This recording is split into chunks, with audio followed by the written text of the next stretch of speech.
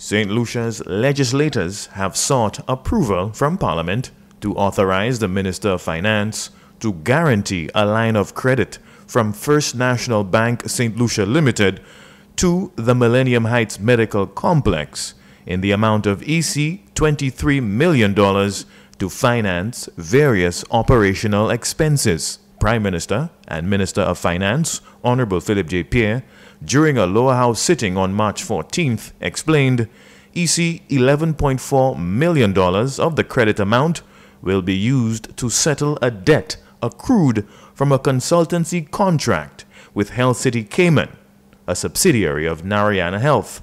Narayana Health is a private healthcare service provider based in India and currently operating in the Cayman Islands. And the good name of our country was under tremendous stress because we it was being said that we were not meeting our commitments and we were not paying our bills. So this government wanted to maintain the integrity of St. Lucia's good name, wanting to maintain the integrity of St. Lucia as a client that we can do business with. We've decided to give, allow the Millennium, the Millennium Health Facility to borrow the money and the government is guaranteeing it. So if there's any default in payment, the government will meet it, Mr. Speaker. So it just shows you the, the, the, the, the responsible manner in which we, we approach government. Health City Cayman was awarded the consultancy contract in 2020 to oversee the transition of the Victoria Hospital to the Owen King EU Hospital. The terms of the contract obligated the government to pay Health City Cayman for a range of administrative services close to 1 million EC dollars per month for two years. Remember the mood of the country? Remember the, the, the threat we faced during the pandemic? People could not eat. 15,000 hospitality workers laid off.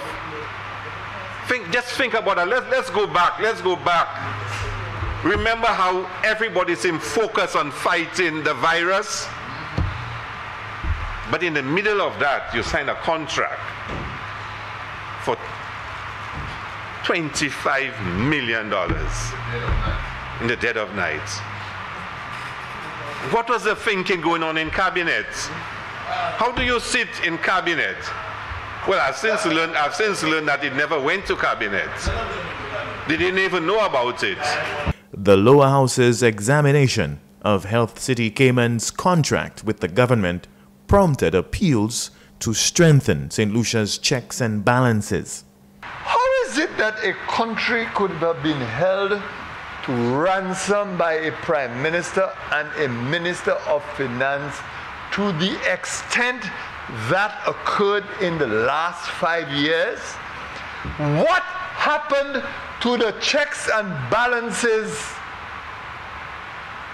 that we created over the years that it could not stop that kind of abuse, that kind of recklessness in this country?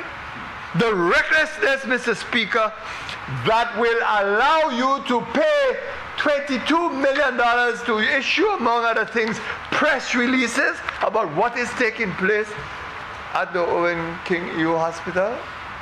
Prime Minister Pierre has signaled to the House his administration's intention to allocate additional financial support to improve St. Lucia's public health infrastructure and also strengthen national security in the upcoming 2023-2024 budget.